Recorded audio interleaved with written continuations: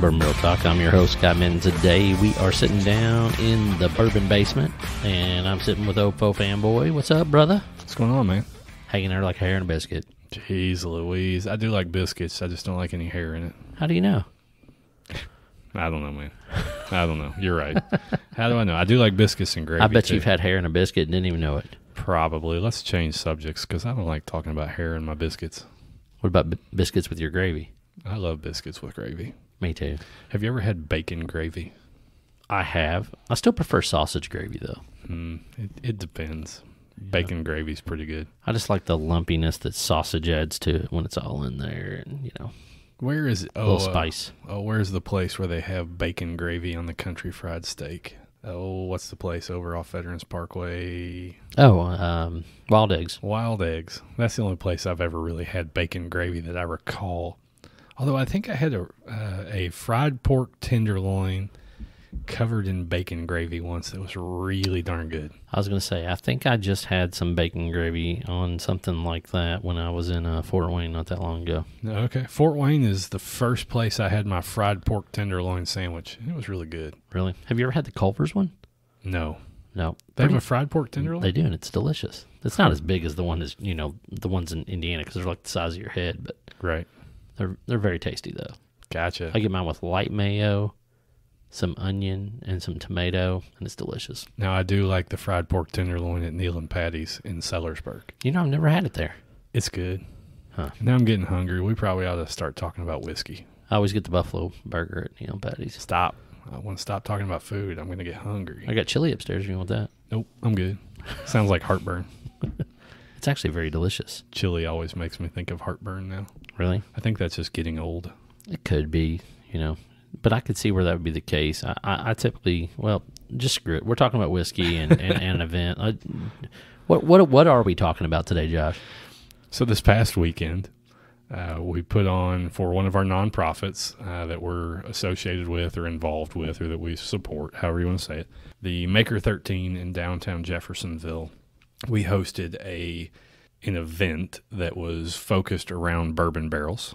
Um, our buddy had donated through his business, I want to say 27 or 28 empty barrels. A couple were uh, wine barrels, I think, or uh, sherry barrels. There, there were some random barrels. DJ Jazzy Jaznoff. I think they are all brandy barrels because Okay. they all came from Copper and Kings, did they not? They did. A couple were larger, so I wasn't sure what kind of barrel or cask they So really were. They probably were sherry cask or something like that originally, but they all had brandy in them at that point. So we'll just call them brandy barrels at this point. So Matt donated through his business a number of barrels to uh, our nonprofit, uh, Maker 13. We took those barrels and cut up, I don't know, seven or eight of them, uh, cut them into staves, cut them into dog beds, cut them into bars, tables, you name it. My And coffee, the coffee table was my favorite. The coffee table. So I bought that one at the auction. Did you buy that? You lucky dog. I did.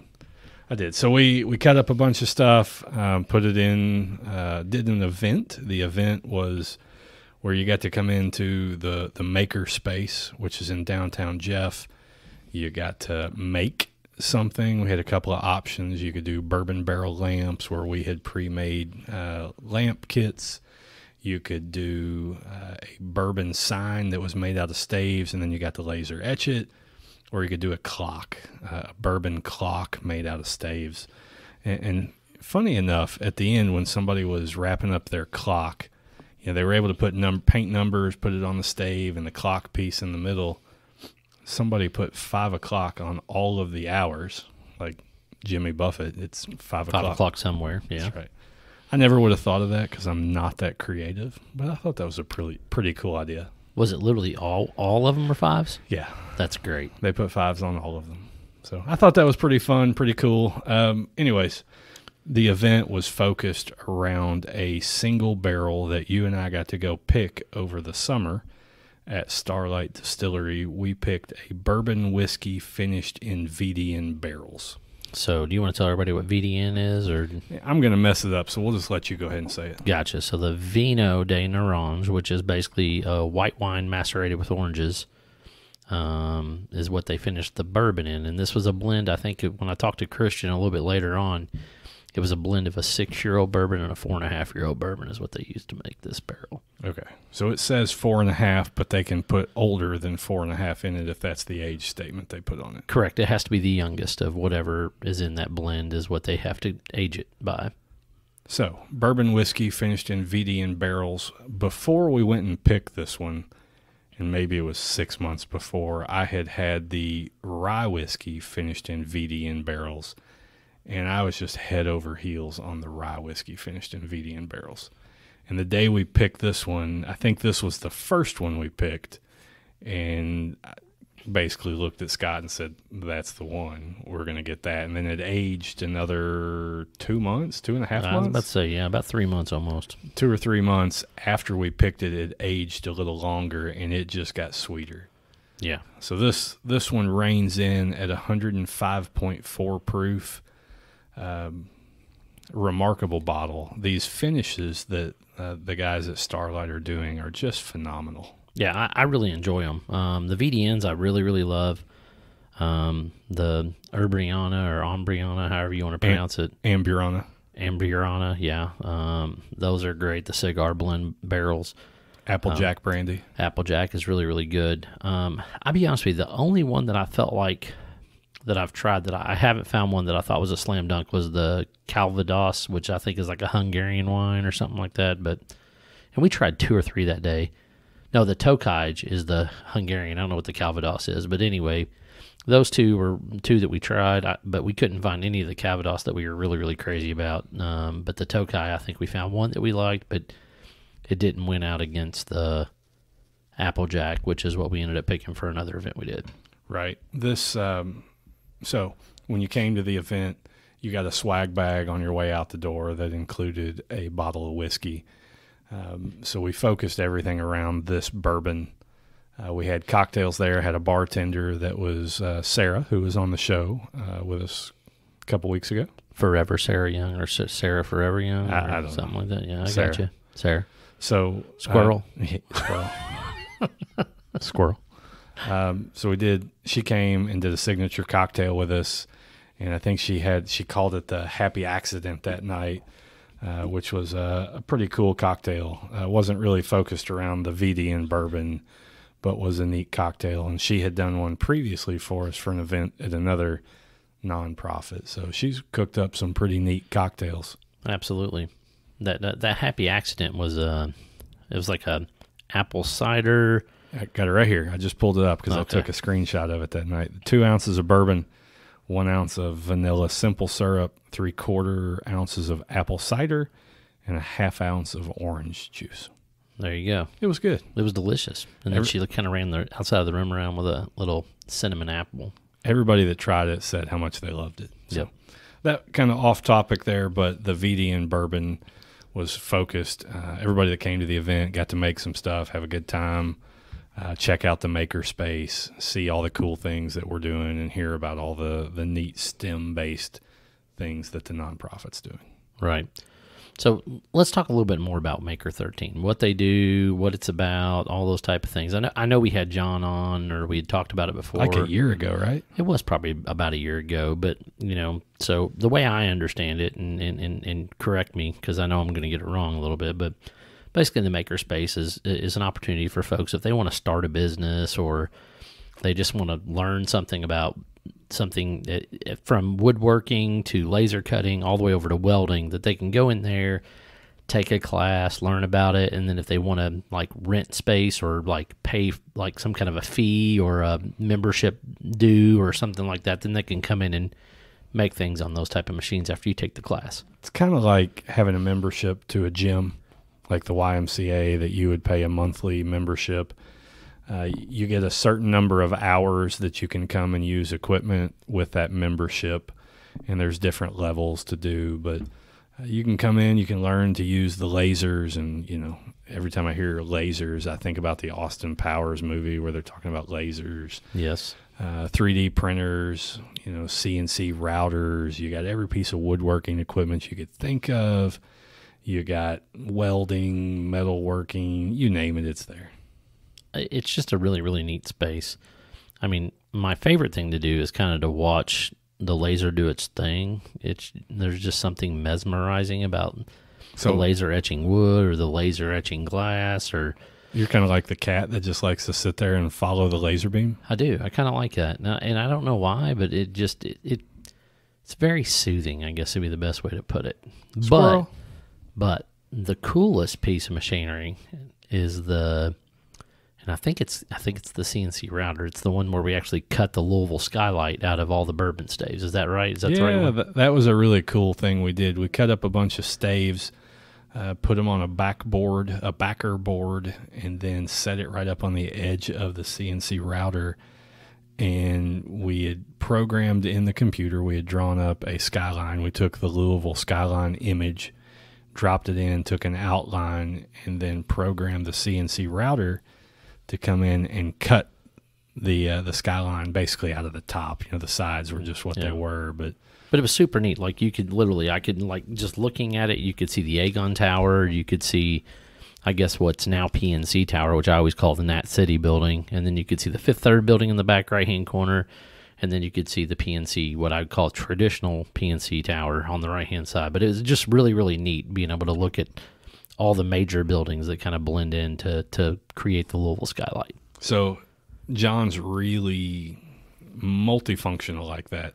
He, you know, somebody said, "Hey, let's do this," and then you know, 15 minutes later, he's got it all planned out and done. I probably would have spent six days thinking about it, messing it up five or six times, and doing it again. But John knew, made it happen, and it looked awesome. We did that on a board member build night where the board members were taking apart all these barrels and coming up with ideas to put in our silent auction. Yep. So it was a pretty cool thing. I got a boring job that night. I just got to run boards through the planer with you. I felt like I had carpal tunnel syndrome after that night. My left wrist hurt from just putting the board. We made uh, what? What else did we make? We cut up one of the barrels. We basically cut a. I'll call it a two by three opening in the front, but that may be a little off size wise. Yeah, probably about right though. Cut an opening in the front. Uh, we drilled into the bands, the metal bands, so that they would stay in place. Uh, we got Wolf Glass to cut us a piece of glass for a center um, center shelf. Cut a couple of staves up. Um, so we put in a piece of glass. Uh, they cut it up, put it in the middle for us. We put a couple staves under to support it. Made a really cool bourbon bar. You got one similar here in your place that I think you made. I did. Uh, what Mine's else? fancy though. It's got lazy susans in it. We made a coffee table. We uh, John and I had cut the top off of one of the barrels, uh, basically below. I think it was the second metal band, the second ring, Yep, that sounds And- about right. and we were going to make a dog bed out of it, and we did. We put a, little dog blanket style thing inside of it, and then we had you know two thirds of a barrel left, and we said, "What do we want to do?"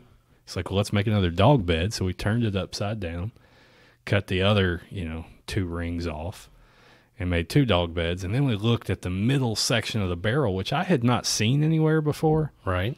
We took the middle section of the barrel and we said, you know, that'd be a really cool coffee table if we put a piece of glass on it. Yep. And it was. It was actually my favorite piece of the night. And it, then we went and bought a more expensive piece of glass to put on top of it because you had to have the glass to really, Yes. it gave it the appeal.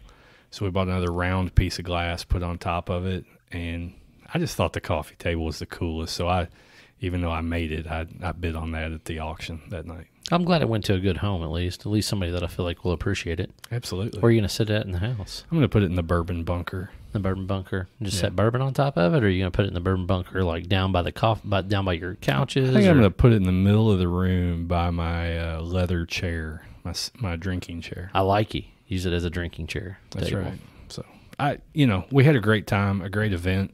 Everybody that came made something cool. They saw something different. Everybody got to laser etch a rocks glass. And I was a little shocked that the rocks glass etching seemed to bring more joy to a lot of people than others. But I think that's something you can very easily just use in your everyday life and you get to enjoy. You can, and and I'll be honest with you. The reason I was super excited about it is that both my kids have names that you just you don't find everywhere. So I was able to. I went ahead and just put their names on there, so that way they'd have something you know special for themselves. And not that I'm you know saying hey go drink a bunch because these are rock glasses, but hey, it gives them something a small cup to drink out of. Drink water out of. Absolutely. Um, my uh, my youngest, I think that you know they actually took theirs upstairs and and, and are and is using it to uh, you know, rinse their mouth out at night. So I got you. It's like whiskey. I rinse my mouth out with whiskey at night. I wish I could, but Becky would not like that. So I just took a drink of the bourbon whiskey finished in VDN barrels, 105.4 proof. So good. And the la- last night I had poured in an old fashioned, and I typically will not put what I consider nicer bourbon or whiskey in an old fashioned.